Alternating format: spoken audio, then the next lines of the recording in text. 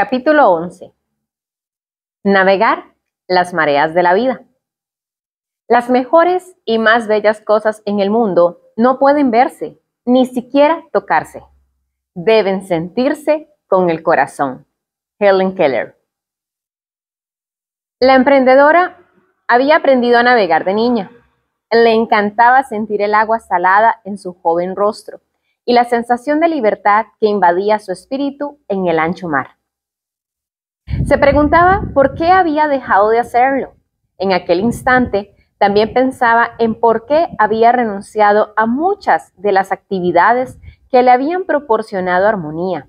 Y notó que, en este preciso momento, en un pequeño bote, deslizándose sobre las infinitas aguas del Océano Índico, se sentía verdaderamente despejada e intensamente viva.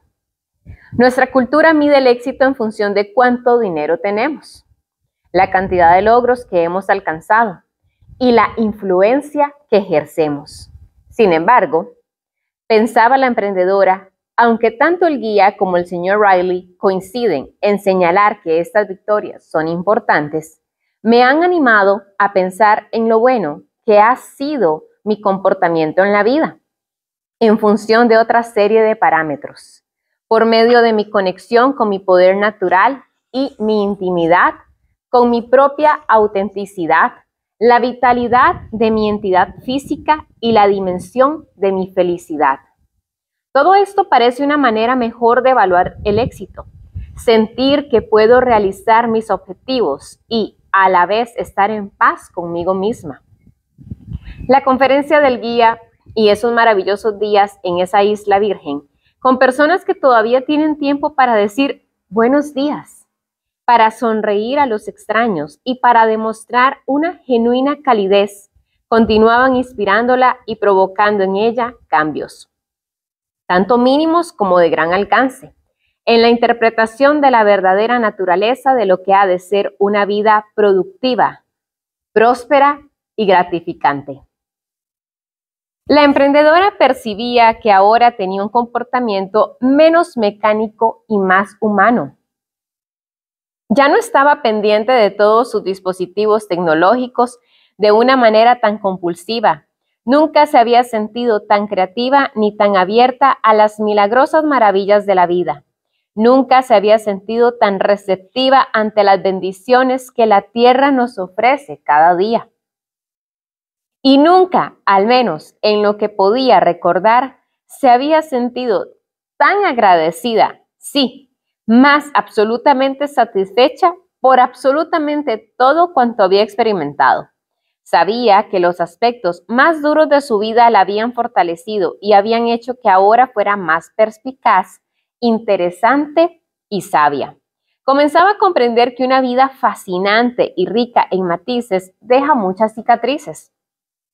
Se había prometido a sí misma que iba a aprovechar el desafío al que se enfrentaba con sus inversores para intensificar su coraje. El intento de absorción de los inversores sencillamente incrementó su nivel de implicación, defendiendo ese heroísmo natural que, según había aprendido, todos atesoramos en lo más profundo de nuestro ser. Bajo esas capas de temor, inseguridad, y limitación que vamos acumulando a medida que avanza nuestra vida. El comportamiento de esos socios indignos de confianza solo había servido para hacer de ella una persona mejor, más valiente y más íntegra. A menudo, un mal ejemplo nos enseña más sobre aquello en lo que deseamos convertirnos que uno bueno. Y en ese mundo de seres humanos encallecidos que han perdido la referencia de lo que realmente son, se había prometido a sí misma dedicar el resto de sus días a fomentar la excelencia, la adaptabilidad y la más absoluta bondad. Mientras la emprendedora y el artista navegaban es ese, en ese pequeño bote de madera en aguas tan transparentes como el cristal, esquivando arrecifes de coral que, en caso de impacto contra ellos, podrían producir consecuencias graves, la mujer podía entrever la masa de tierra, en la que el señor Riley le había propuesto que tuviera un picnic marítimo con su nuevo amor. También percibía que sentía cada vez mayor afecto por el hombre que estaba sentado a su lado. Aunque procedían de universos completamente distintos, la química que había entre ellos era innegable. Era como si dos galaxias hubieran entrado en colisión y, a pesar de que tenían formas de actuar muy diferentes, su compatibilidad era algo que no había experimentado nunca antes.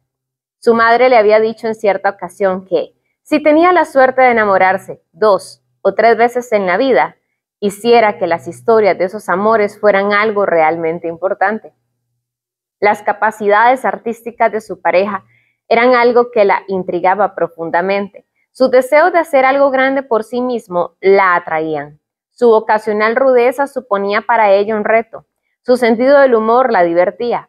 Su manifiesta humanidad la enternecía y sus ojos negros la volvían loca.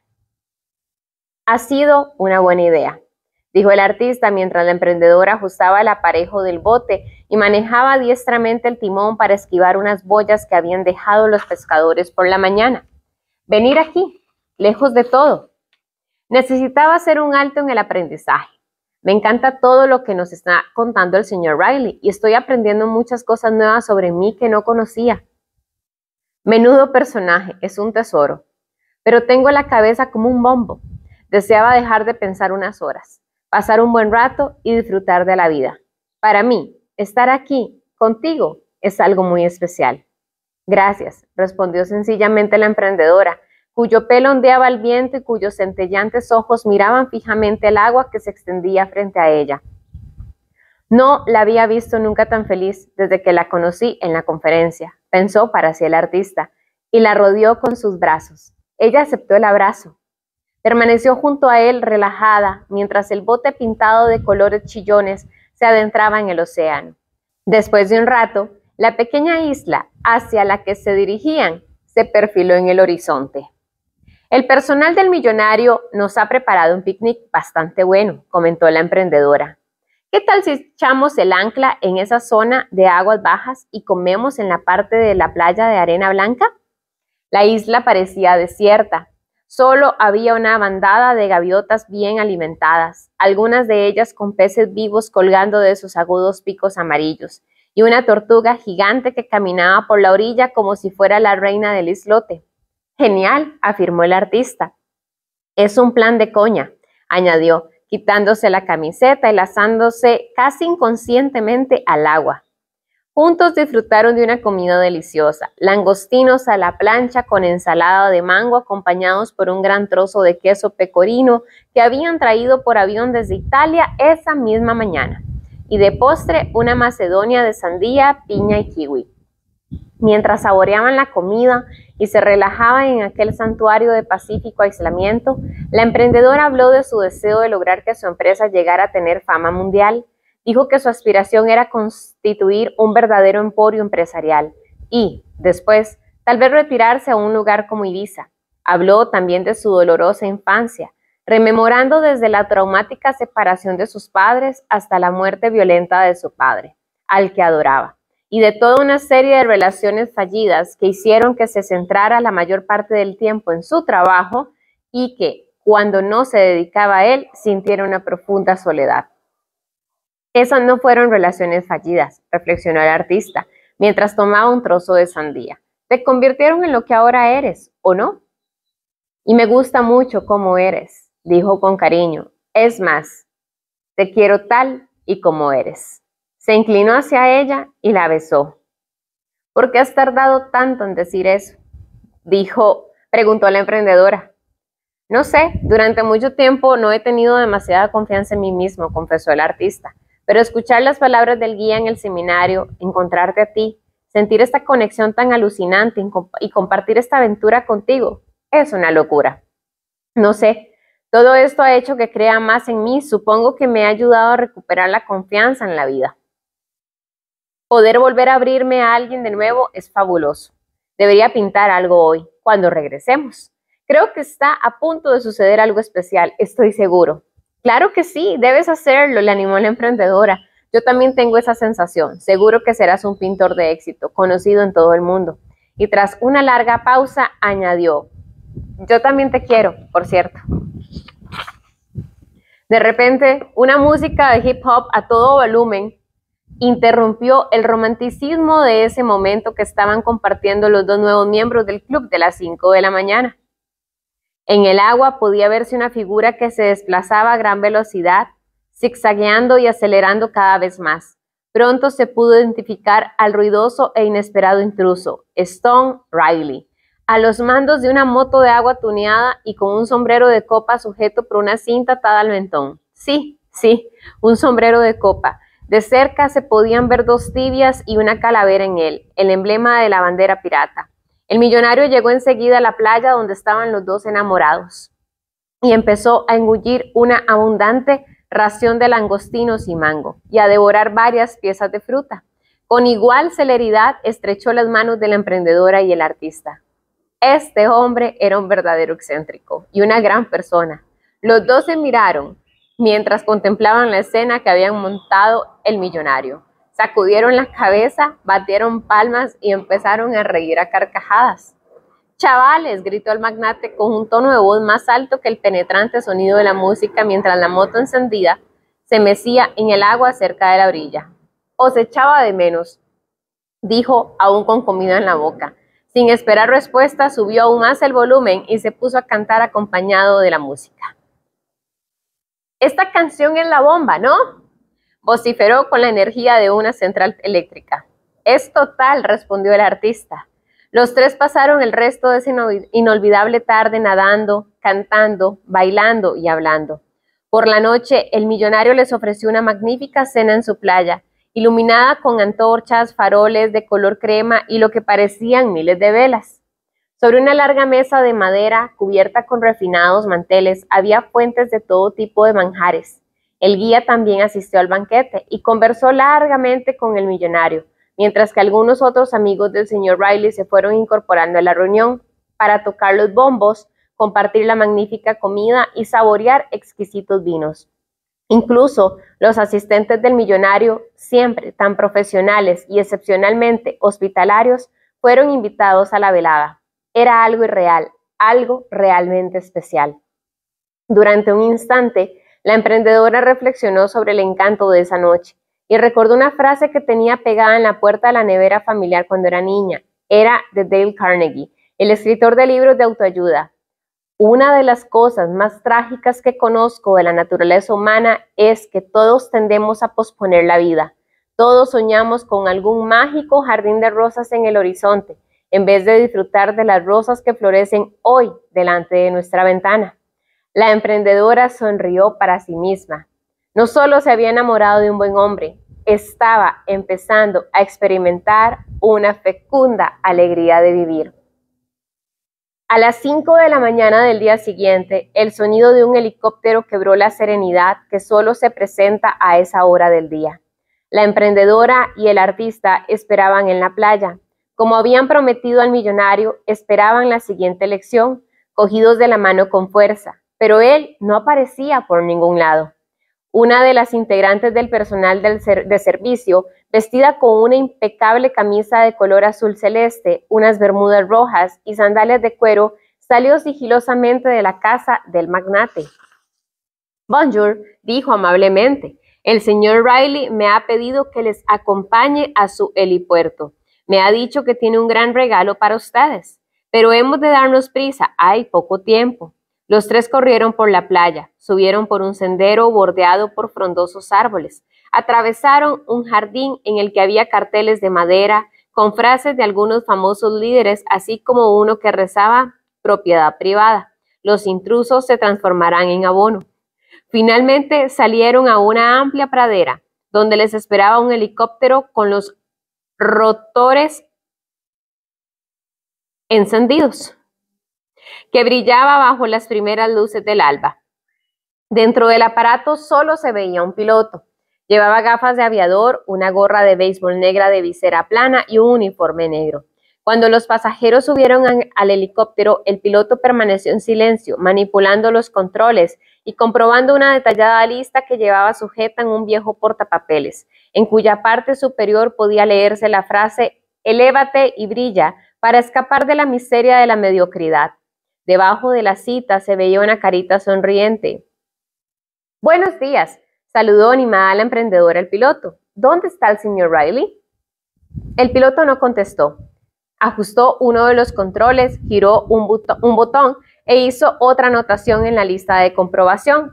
Buena suerte y que tenga un buen vuelo, dijo el asistente, mientras les ajustaba los cinturones y les colocaba a los dos invitados cascos con micrófonos sobre la cabeza.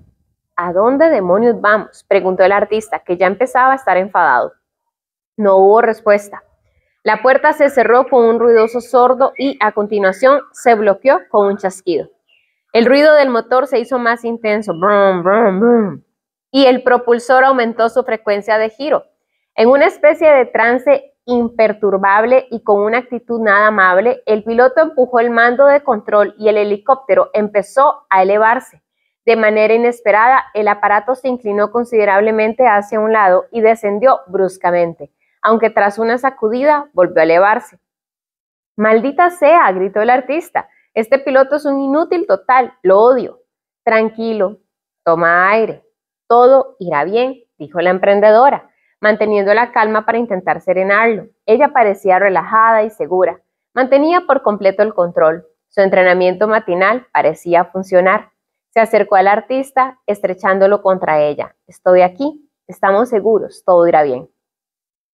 Poco después el helicóptero surcaba los cielos equilibrado, estable y con elegancia. El silencioso piloto observaba los lectores de medición y jugueteaba con los controles aparentemente ajeno al hecho de que llevaba dos pasajeros. Eh, eh, ese reloj me suena de algo, observó el artista al ver el enorme aparato que el piloto llevaba en la muñeca. Es el mismo que Stone llevaba en la presentación del guía. Esto es de locos, dijo el pintor con voz temblorosa. Estaba sudando como un oso polar en una ola de calor. Controla tus mañanas, impulsa tu vida. Se escuchó canturrear desde la parte delantera del helicóptero. ¿Qué hay, chavales? Bonsoir. ¿Contentos de ser miembros del club de las 5 de la mañana al comienzo de esta jornada? Preguntó la voz con tono ronco. Ay, muchachos, muchachos, os encantará la sorpresa que os espera. Otro país para otra lección sobre la rutina matinal de los líderes que alcanzan la categoría de leyenda, los genios de la creación y los grandes hombres y mujeres que cambian el mundo. El piloto giró bruscamente la cabeza y se quitó las gafas con un movimiento rápido. Después dejó escapar un considerable eructo. Era el millonario. ¿Qué tal, gente? No era mi intención asustar a dos seres humanos tan excepcionales como vosotros. Tengo licencia de piloto de helicópteros. A que no lo imaginabais, dijo el señor Riley con cierto tono de disculpa. Puede estar seguro, respondió el artista, aún aferrado a la emprendedora como un jugador a su última ficha. Me la saqué hace años, continuó el millonario. Los helicópteros son súper guapos, pero mis negocios no me han dejado practicar las horas de vuelo que antes solía aprovechar. Perdonadme por la torpeza en el despegue. Creo que necesito más práctica. Bueno, pero ¿a dónde vamos? Preguntó la emprendedora mientras se acomodaba en el blando asiento de cuero. A Agra, contestó lacónico el millonario. ¿Y eso qué significa? inquirió un tanto escéptico el artista. ¿Qué es Agra? Os estoy llevando de nuevo al aeropuerto, dijo el millonario. Vamos a cambiar de lugar en esta aventura única que estamos viviendo. ¿Nos marchamos de Mauricio? Se lamentó decepcionada la emprendedora, mientras sus pulseras colgaban de sus brazos y chocaban entre ellas. ¿Y qué hay de todo lo que todavía le queda por explicarnos? insistió el artista. Aún no sabemos nada de la Fórmula 2020 la que nos dijo que revolucionaría nuestras vidas. Nos explicó que era la base del método de las 5 de la mañana. He estado esperando para saber de qué se trata, protestó el artista golpeándose una mano con el puño de la otra. Y lo cierto es que realmente me encanta Mauricio. No esperaba tener que irme a otro lugar. Yo también, reafirmó la emprendedora. Pensaba que nos había prometido explicarnos con detalle las tácticas relativas a lo que hay que hacer después de levantarse a las 5 de la mañana. Y en la conferencia del guía me aseguró que me mostraría técnicas prácticas relacionadas con la productividad que me ayudarán a ampliar mi negocio y algunas técnicas clave para lograr una fortuna personal. Y mi chico y yo solo hemos tenido tiempo para hacer un picnic juntos, que por cierto, consiguió interrumpir con su música tronadora y su moto de agua tuneada. Nadie dijo nada durante un rato. Después, poco a poco, todos en el helicóptero comenzaron a reír nerviosamente. Relajaos, muchachos. dijo alzando la voz el millonario. Mi casa es vuestra casa. Podéis volver a Mauricio siempre que queráis. Os enviaré los mismos conductores, la misma tripulación y el mismo avión. Y estoy seguro de que sentiréis el mismo afecto por mí y por mi excelente equipo. No hay problema. Encantado de ayudar siempre. Ajustó otro de los controles del aparato y añadió, un avión nos está esperando en la pista. Vosotros, mis queridos tortolitos, habéis sido unos discípulos formidables. Habéis asimilado con pasión las enseñanzas del guía. Os habéis levantado al alba todos los días. He asistido a todos vuestros progresos, así que hoy deseo haceros un gran regalo. ¿Un regalo? preguntó dubitativo el artista. Bueno, lo cierto es que yo debería regresar a casa, a mi estudio, en breve. Tengo que plantear una reestructuración a fondo de mi trabajo y arreglar otros aspectos de mi vida después de todo esto. Y yo tengo que volver pronto a ocuparme de mi empresa, dijo la emprendedora. Al decirlo, las arrugas de preocupación regresaron a su frente, aunque esta vez había menos que las que mostraba cuando se unió al club de las 5 de la mañana. Todavía no, chavales. Tened paciencia, todavía no, suplicó el magnate. Ahora iremos a Agra. No tengo ni idea de dónde está eso, reconoció la emprendedora. Agra está en la India, explicó el millonario. Os voy a llevar a ver una de las siete maravillas del mundo y a preparar la siguiente parte del método de las 5 de la mañana. Todo lo que habéis aprendido hasta ahora es la preparación de lo que viene a continuación. ¿Estad preparados, muchachos? Estamos listos para acceder a la información avanzada que ayuda a alcanzar un aumento exponencial de la productividad, un rendimiento máximo, unos niveles de liderazgo legendarios y un modelo de vida excelente que mejora el mundo. Estad preparados para recibir la información más práctica que habéis recibido hasta ahora relativa a la rutina de la mañana de los triunfadores, los llamados a hacer historia. Lo mejor está todavía por venir. El millonario aterrizó el helicóptero con pericia cerca de un impoluto jet privado con los motores en marcha. A diferencia del primero, este avión era completamente negro. Pero igual que el que había llevado a los discípulos a Mauricio tenía el símbolo del club C5M, estampado en la cola, en tono naranja. En marcha hacia la increíble India, exclamó el millonario con energía. En marcha, pues, exclamaron la emprendedora y el artista. Una de las más valiosas experiencias de su extraordinaria aventura con Stone Riley, el excéntrico magnate, estaba a punto de comenzar.